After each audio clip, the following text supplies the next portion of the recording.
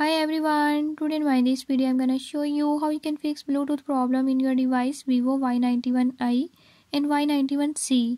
In this device Vivo Y91i and Y91c, if your Bluetooth is not working or is not connecting with any other device, I'll tell you few tips and tricks that you can use to fix it.